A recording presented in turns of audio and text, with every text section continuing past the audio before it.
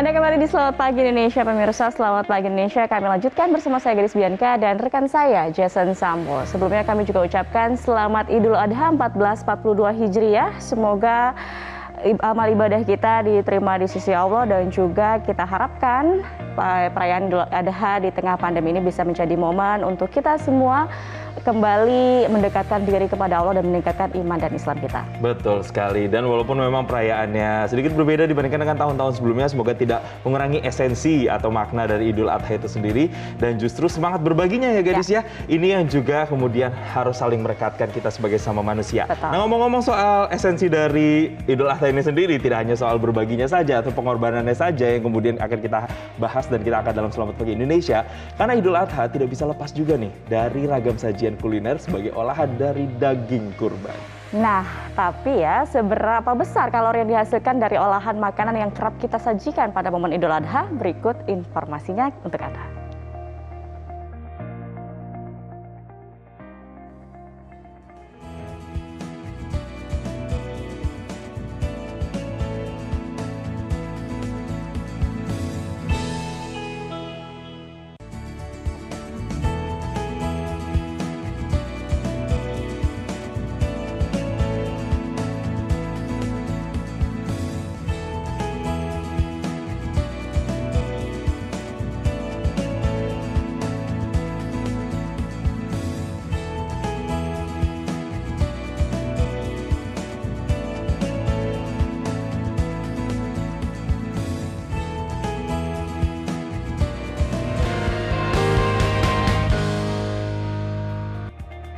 Pemirsa Idul Adha tentunya tidak lepas dari olahan-olahan daging ya, masakan-masakan. Hmm. Tapi kayaknya mungkin masih banyak pemirsa yang kebingungan nih harus seperti apa mengolah daging yang tepat uh, di masa Idul Adha 1442 Hijriah ini ya. Nah, betul apalagi bagi Anda pemirsa yang punya kondisi-kondisi tertentu hmm. yang mungkin harus dibatasi untuk konsumsi dagingnya. Bagi Anda nih pemirsa yang masih berpikir bagaimana mengolah daging kurban yang sehat dan juga baik bagi kesehatan tubuh, kami akan ajak Anda berbincang dengan ahli nutrisi Dr. Tan Shotien yang sudah bergabung bersama kami di sambungan virtual. Selamat pagi Dr. Tan.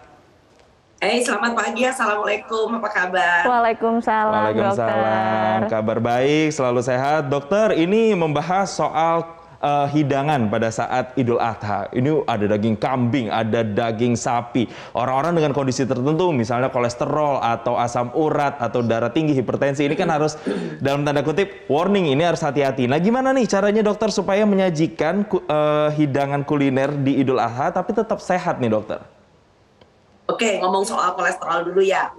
Uh, tidak benar bahwa kolesterol itu dipicu langsung dari apa yang Anda makan pada hari ini. Ya. Jadi uh, dari lamannya Harvard juga bisa kita baca bahwa 80% kolesterol manusia itu liver Anda sendiri yang bikin, hati yang bikin. Jadi cuma 20% aja yang berasal dari makanan ya. Jadi nggak usah dipikir tentang itu. Dan yang kedua saya ingin meluruskan tentang masalah kolesterol yang datangnya dari santan saya suka sedih nih kalau lebaran haji, lebaran uh, Idul Fitri, itu selalu kita punya terjulitkan itu adalah santan ya, kelapa ya. Jadi saya ingin memberitahu kepada kalian bahwa yang disebut dengan kelapa atau tumbuh-tumbuhan lah termasuk duren, itu zero kolesterol, jadi tidak mengandung kolesterol.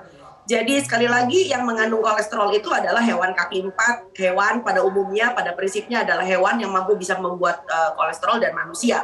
Bahwa hmm. santan mempunyai lemak jenuh, aku setuju banget. Itu sebabnya kenapa kalau Anda masak dengan santan, usahakan santannya tidak usah diangetin berulang. Ya, jadi artinya kalau misalnya Anda dapat hewan kurban nih ya atau beli misalnya ya jadi syarat.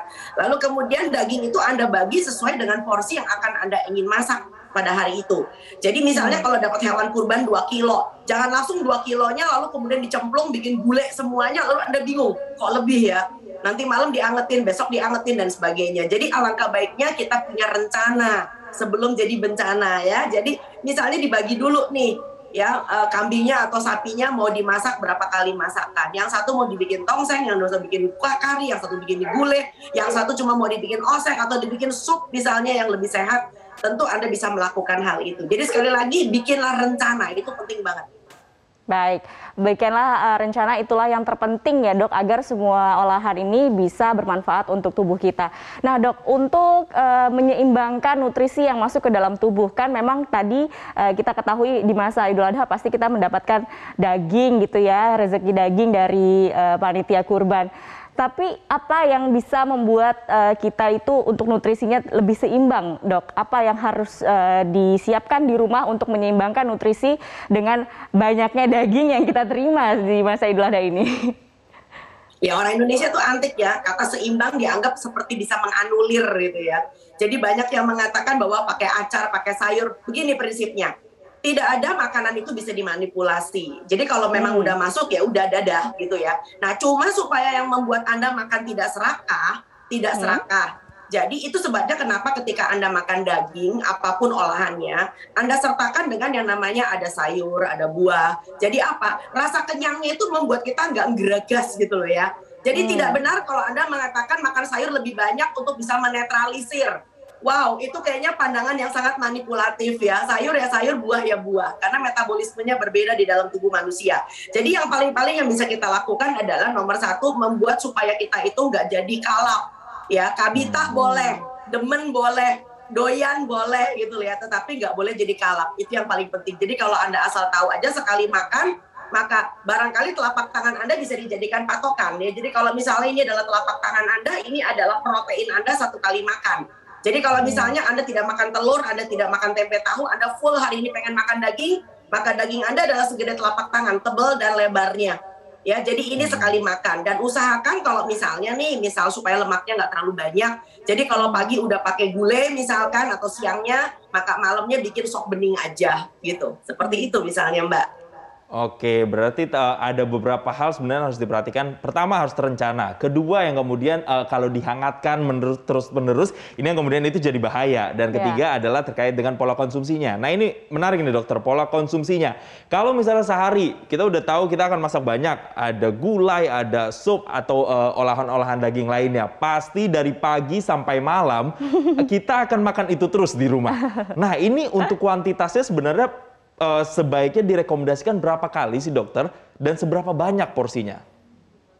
Sebetulnya gini, kalau dalam satu hari berturut-turut Anda cuma makan daging, nggak apa-apa sih sebagai protein. Tetapi sekali hmm. lagi, untuk menghindari Anda tidak kalap, maka piring Anda itu harus betul-betul isinya bagus gitu ya. Jadi separuh ada sayur, ada buah. Separuhnya baru protein atau lauk tadi dengan makanan pokok gitu ya. Jadi kalau misalkan sekali lagi saya udah ngomong nih, ini adalah porsi daging Anda, maka Anda mempunyai satu kepal nasi atau pakai kentang. Jadi kalau sempur kentang kan udah ada kentangnya nih. Lalu kemudian kita punya sayur, kita punya ada buah di separuh porsi uh, piring Anda. Itu yang paling penting. Dan sekali lagi, sekali lagi, sekali lagi bahwa jangan selalu mengangetkan makanan. Jadi rencana itu memang penting banget gitu loh Mas Jason. Dok, uh, uh, dokter, kalau misalnya ada beberapa masyarakat yang memiliki pandangan bahwa daging ini kemudian harus segera diolah, harus disegera dimakan, dihabiskan begitu. Itu bagaimana nanti dampaknya ke dalam tubuh? Misalnya dalam tiga hari terus-terusan makan daging gitu. Nah, ini dia. Jadi kalau misalkan memang Anda mempunyai pemikiran begitu dan takut dagingnya kadung rusak, nah ada beberapa cara. Cara yang pertama tentu saja begitu dapat daging kurban cuci Nah, barangkali hmm. informasi yang beredar kemarin di uh, media massa yang mengatakan bahwa daging kalau mau disimpan nggak boleh dicuci itu sepenuhnya tidak benar.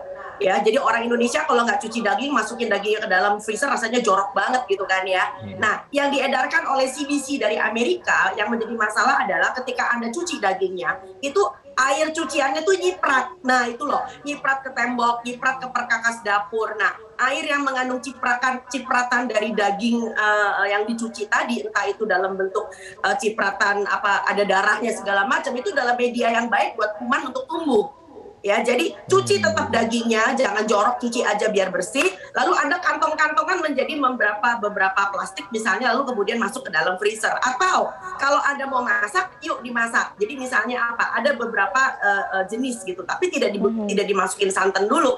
Jadi hmm. misalnya dagingnya yang satu dibikin empuk dibikin empuk direbus aja nanti besok besoknya Jawa itu mau dibikin menjadi kari atau mau dibikin gulai lalu satunya lagi anda mau bikin seperti misalnya sup enak tuh ya saya jadi pengen nih sup kaki lalu kemudian satunya lagi anda mau bikin menjadi apalah uh, tongseng misalkan gitu Nah, jangan ditambahkan santan sampai Anda mau makan. Nah, ketika Hmm. Anda mau makan, ketika Anda angetin, baru santannya dituang dan harus matang betul. Ini penting ya. Jadi nggak ada santan dimakan mentah. Jadi dimasak Oke. sampai matang tuh, tapi satu porsi sekaligus habis dimakan, bukan diangetin ulang nanti kalau bersisa. Begitu, Mbak.